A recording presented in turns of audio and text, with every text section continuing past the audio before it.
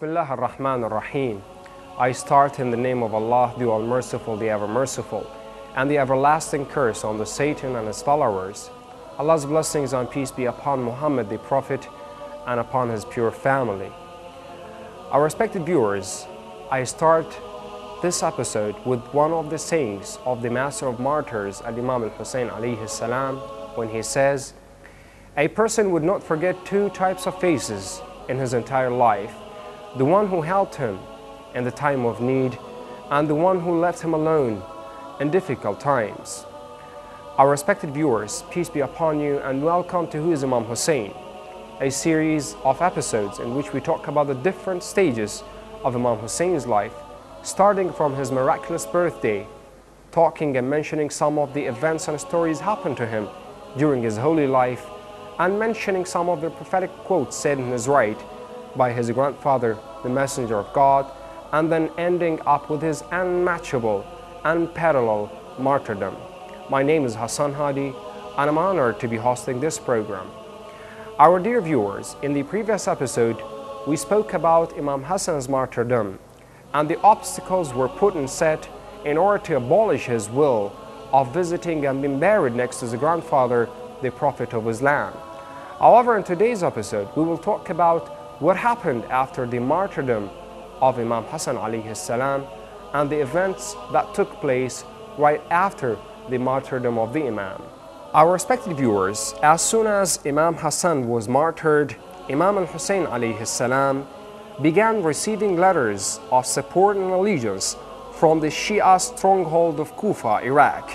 He ordered them to be patient and wait observing the situation while Muawiyah, Allah's curses be upon him, remained alive.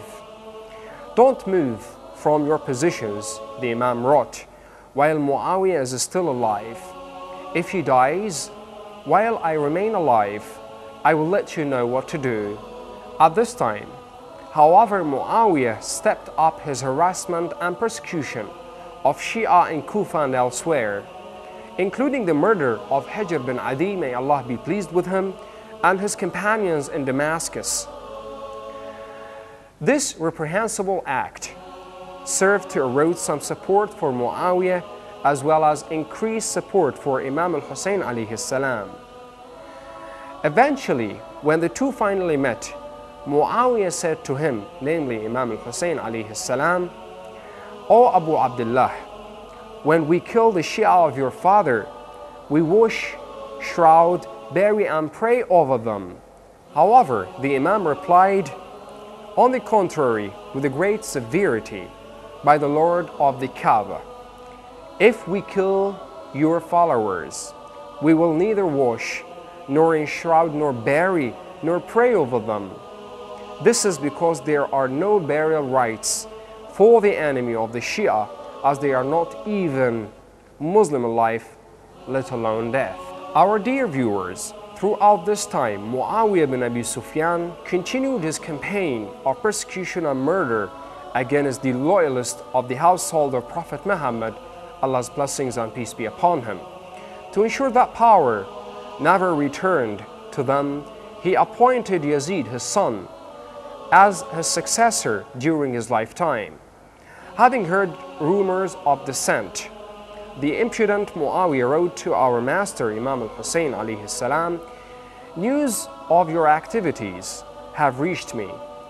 If true, then I will never expect such things from you, and would it be more appropriate if it were false? Adhere to your commitments before Allah the Almighty, and do not force me to confront with you. If you refuse to accept me and my rule, then I will strive for your condemnation fear Allah the Almighty, and do not let the nation of your grandfather be divided and be drawn into sedition. Our respected viewers, what man dare ask the Imam to fear Allah? The Imam, who himself was appointed by Allah the Almighty, apart from whom all other objects of allegiance are false. Only a mind consumed with such delusional vanity as Muawiyah bin Abi Sufyan could rise such a despicable massive.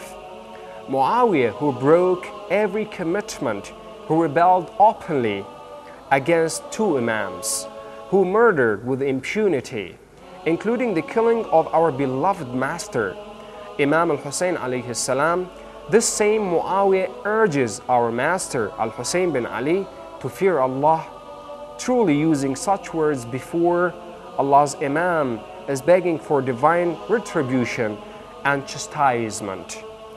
O Master of Martyrs, peace be upon you when you were born and when you were martyred and when you will be resurrected.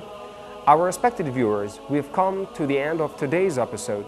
Let's pray that Allah the Almighty hasten the reappearance of the Master of our time to interpret the message of the grandfather Imam al-Hussein when he says, I only desire to spread good values and to prevent evil. Our dear viewers, this is what we have for you in today's episode. Until we meet again, thank you very much indeed. Wassalamu alaikum wa rahmatullahi wa barakatuh.